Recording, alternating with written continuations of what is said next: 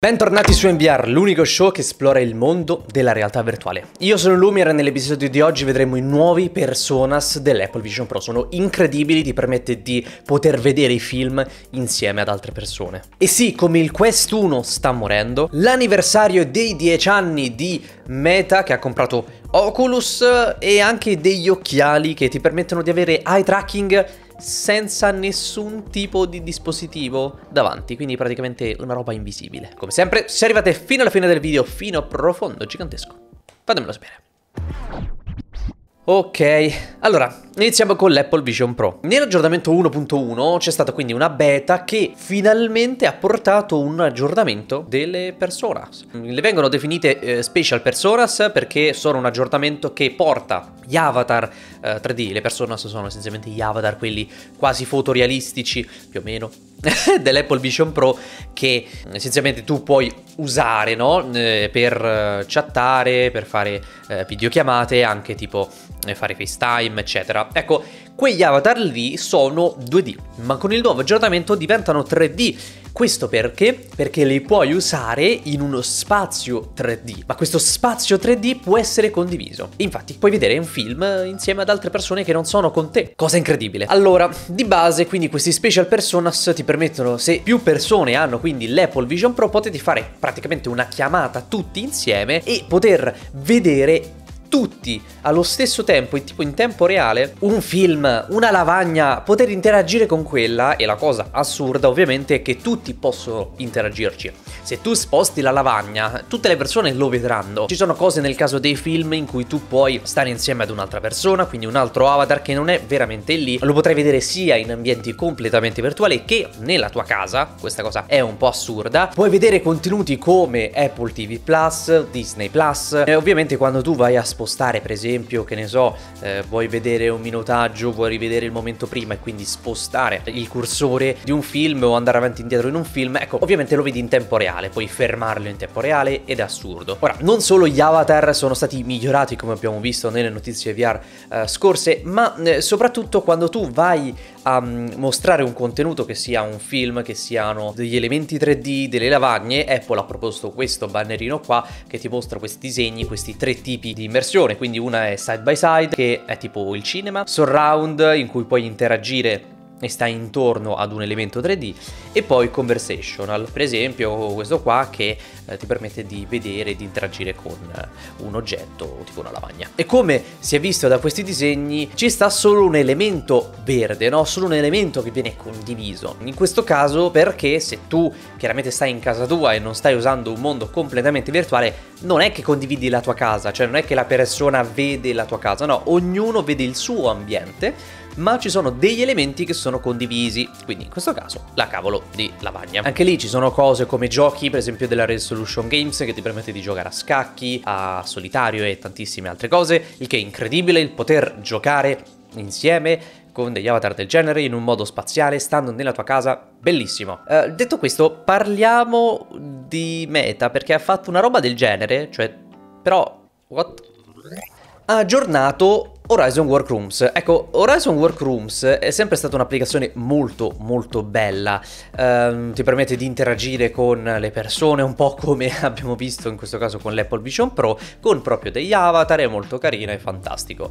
L'hanno aggiornato in bene ma anche in peggio. Una delle cose più complicate di Horizon Workrooms era quello di semplicemente creare una stanza e invitare le persone. Era un po' fastidioso, dovevi creare un invito, poi attraverso un sito, collegare, insomma era una roba che veramente no no. Adesso invece è molto più facile, viene migliorato un sacco, ci sono tante migliorie, proprio una lista che ha pubblicato Meta in un eh, blog post che mm, rende quindi il fatto di creare le stanze, il fatto di creare degli ambienti o comunque delle riunioni molto più facile. Se non che sì, lo stanno rendendo molto più facile, con meno frizione, il problema è che hanno tolto lavagne, poster, luoghi, link, chat, i layout delle workrooms e addirittura, questa cosa ragazzi non la sto capendo, il supporto alle tastiere dotate di tracking. Ci sono alcune tastiere che eh, ti permette di poter usare e vederle, quindi usarle nella vita vera e poterle vedere direttamente in VR come se ci fosse quasi un riquadro e comunque poterle utilizzare. Questa cosa qua non la capisco, cioè se, c'è una cosa che deve funzionare in VR in un'applicazione per il lavoro, workrooms, stanze del lavoro, è una tastiera che ti permetta di scrivere più velocemente invece che usare un sistema eh, della tastiera digitale che c'è su Quest che è veramente orrenda. È migliorato eh, secondo Meta Workrooms perché l'hanno semplificato e sono d'accordo ed è molto più facile adesso entrare, uscire, invitare e fare tutte quelle, quelle robe là, però hanno tolto un botto di roba, quindi innanzitutto io non ho una tastiera di questo tipo, però ecco Meta rimettile, cioè non è che per semplificare devi togliere, se no... Mm? Quindi unisco tutto, il fatto che sono passati 10 anni da quando è stata acquisita Oculus e poi sì che Quest 1 ci sta abbandonando. Allora, sì, sono passati praticamente 10 anni, anzi oltre 10 anni, se il blog post non mente dovrebbe essere esattamente il 3 aprile 2014 in cui è stata acquisita e il momento in cui vedrete questo video probabilmente sarà già il 5 aprile, però comunque sono passati 10 anni. Per chi non lo sapesse, eh, Meta, Facebook, quindi ai tempi, eh, acquisì Oculus per circa 2 miliardi di dollari. Uh, inizialmente gli lasciò fare più o meno quello che volevano, uh, ci stanno appunto foto di Zuckerberg e Palmer Lucky. Palmer Lucky è il ragazzo che ha uh, fondato e ha creato i visori Oculus. Successivamente, ecco, per farla breve, piano piano se ne sono andati tutti. Palmer Lucky, John Carmack e tantissime altre persone come proprio il logo Oculus, se prendete adesso un visore Quest, non si chiama più Oculus Quest, si chiama MetaQuest. Perché poi ecco, eh, già fin da subito Facebook, prima di diventare Meta, stava uccidendo il brand Oculus come tutti i dipendenti alla fine. Solo che successivamente fece proprio il cambio da Facebook a Meta, probabilmente perché Facebook non, non aveva tutta questa popolarità, non piaceva a molte persone, di conseguenza è arrivata Meta e sono diventati MetaQuest. Molti di voi probabilmente ancora hanno il logo, perché comunque eh, a metà del ciclo di vita del Quest 2 si è passato dall'Oculus Quest 2 al Meta Quest 2. Eh, lo stesso identico visore, cioè lo stesso identico, cambia semplicemente il logo, ok? Oppure se vedete i controller uh, del Quest 2, quello sicuro, ecco, avete il logo di Oculus nel tasto Home, dove adesso abbiamo quello di Meta. Ecco, partiamo dal presupposto quindi che eh, non è che abbia avuto tutta questa grande fama al di fuori e all'interno eh, della community VR, eh, o Facebook, Meta, perché comunque eh, distrusse, tutt'oggi continua a distruggere un brand molto amato che ha salvato letteralmente, salvato letteralmente la VR. E farò uscire un video riguardo, quindi statene certi, restate sintonizzati e soprattutto iscritti al canale, perché non vorrete sicuramente perdervi quel video. Quindi sì, Oculus ha fatto tantissime cose, successivamente è diventato Meta e devo dire che comunque il Meta Quest 3 è forse il miglior visore di sempre. È veramente un visore eccezionale e per quanto gli si possa dire di tutto a Meta, ecco, rimane comunque che stanno facendo un buon lavoro. Non gli si può dire niente. Cioè, sì, si può dire un sacco di roba, però. E quindi hanno fatto questo blog post facendosi un po', ah, siamo fortissimi, abbiamo fatto un sacco di roba. Ecco, secondo me qualche scheletro nell'armadio potevano pure mettercelo. No, cioè, per essere un po' onesti. Quindi se volete leggerlo, ve lo lascio in descrizione. Parliamo di eye tracking invisibile.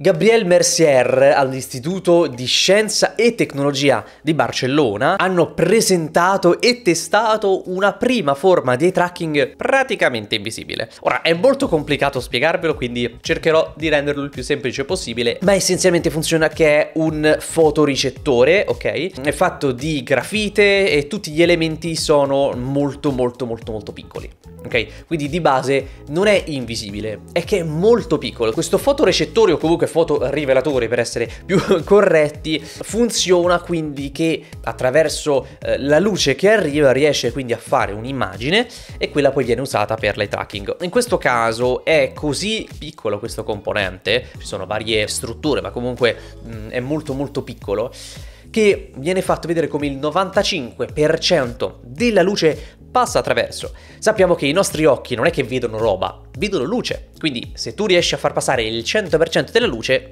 boom, hai fatto una roba invisibile, ok?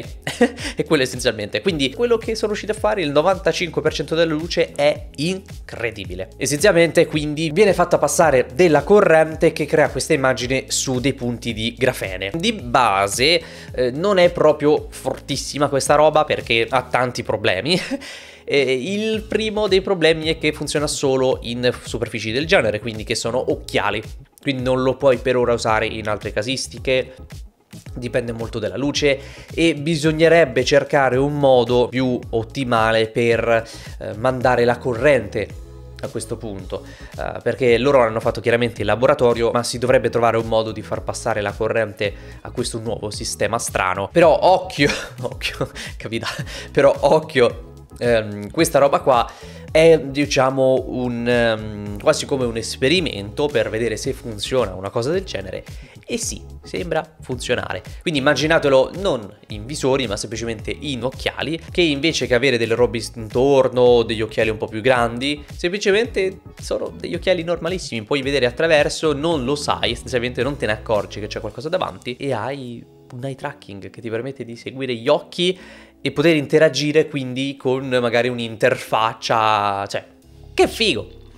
Allora, parliamo del Quest 1. Uh, Oculus Quest 1, Meta Quest 1, chiamatelo come volete, probabilmente è più corretto dire Oculus. Il primo visore della serie Quest ha rivoluzionato uh, tutto quello che conoscevamo dei visori, uscito nel 2019 e quando poi è arrivato il Quest 2 già Uh, diciamo dopo neanche un anno, nel 2020 già vedevamo un po' tremare uh, i possessori di Quest 1. Io ero un possessore di Quest 1 e mi sono ritrovato quasi subito uh, dei giochi non compatibili, dei giochi che non uscivano, eccetera. Come per esempio Resident Evil 4 che io volevo tanto giocare e poi l'ho giocato successivamente quando poi mi sono deciso di comprare il 2. Cosa assurda che, ecco, finalmente ha annunciato Meta che stopperanno l'arrivo ufficialmente di nuove applicazioni, quindi non sarà proprio supportato nessuna applicazione che arriva anche su quest'uno perché mh, hanno deciso di staccare finalmente la spina, ok? Essenzialmente. E tutto ciò succederà dal 30 aprile. Quindi non vedrete più Oculus Quest 1 o comunque semplicemente la dicitura Quest 1 eh, nello store, che sia nello store ufficiale, che sia in quello della Lab, non ci sarà più. Uh, a livello di strumenti di sviluppatori, neanche lì potrai usarlo quando vorrai valutare, che ne so, un'applicazione, non puoi farlo solo per quest'uno, anzi non, non, ci sarà proprio supporto per il Quest 1, quindi Meta ti dice che devi partire dal Quest 2 in poi che è un bene, che è un bene secondo me. E se ci pensate, questa cosa qua di togliere il Quest 1 arriva dopo circa 5 anni, quindi dal 2019 al 2024. Ah, molto interessante. Io il Quest 1 l'ho sempre trovato un visore eh, fin da subito molto pesante, neanche troppo troppo comodo, però è stato il mio primo visore e sono veramente veramente affezionato a lui. Uh, ho subito comprato la mia prima strap, uh, e lo adoro, lo adoro. Per esempio, ecco, tra l'altro mi sono ritrovato ad avere un Quest 2 che era decisamente migliore rispetto al Quest 1 proprio a livello di qualità visiva. Però per esempio nel caso del Quest 2 e il Quest 3 mi sono ritrovato con un salto decisamente maggiore dove però quando parlavo eh, di Quest 2 consigliavo alla gente di passare da Quest 1 a Quest 2 perché già eh, avevano fermato l'acquisto del Quest 1 dopo neanche un anno dall'uscita del Quest 2 nel caso del Quest 3 non tendo a consigliarlo subito uh, rispetto al Quest 2 perché comunque il Quest 2 ancora vende ancora eh, è valido e costa molto meno. Quindi curioso come il Quest 1 comunque puoi usarlo. Cioè, per carità, eh, non viene messo listato, non escono nuove applicazioni, quindi non ci saranno aggiornamenti, però potenzialmente se tu usi SideQuest puoi comunque eh, installare applicazioni o comunque eh, i giochi che hai già installato o già comprato puoi comunque, o che sono nello store, puoi comunque giocarli. Uh, quindi se avete ancora un Quest 1 e vi sta bene quel visore, tenetevelo e continuate a giocare ai giochi che tanta roba. Ecco lì il supporto ai giochi online, penso che se già quasi tutti uh, non ti permettano di giocare, ecco, se ne andrà tra poco.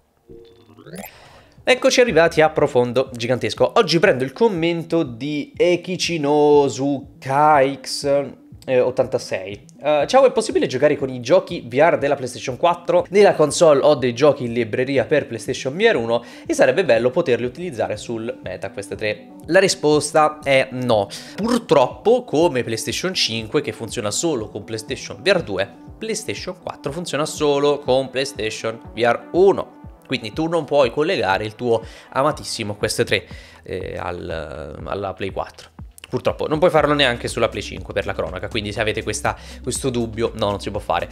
Ora, che magari mi sono perso qualcosa e ci sta magari una mod particolare per poter collegare un altro visore, non lo so, non penso. Ultimamente, ecco, PlayStation sembra che si stia cercando di aprire alla PC VR, ma ecco, parliamo di adesso, uh, PlayStation VR 1. Ecco, PlayStation VR 1 sì che si poteva collegare, ovviamente solo moddato, non PlayStation non voleva questa cosa, uh, si poteva collegare al PC, però, però, però non la Play 4, eh, quindi non puoi usare un altro visore nella Play 4, quello ancora purtroppo no. E eh, penso che resterà così, ecco, è un vantaggio che hanno. Però do ragione a tutti quelli che effettivamente arrivano su Play 5 con una libreria enorme di giochi PlayStation VR 1 prendono il loro PlayStation VR 2 e dicono vai, mi rigioco tutta la libreria. E purtroppo no, purtroppo no, purtroppo no, non è retrocompatibile PlayStation VR 1 con il 2, quindi se tu hai un'intera libreria di giochi PlayStation VR 1 non li puoi giocare su Play 5. Ah, PlayStation, PlayStation. Queste erano le notizie di questa settimana, io come sempre sono Lumior, potete iscrivervi al canale se vi piace il mondo della VR e della XR, qua ci sono dei video che ti potrebbero interessare, questo è fico, ma pure, pure questo, questo è bello. E niente, dai, ci sentiamo. Ciao!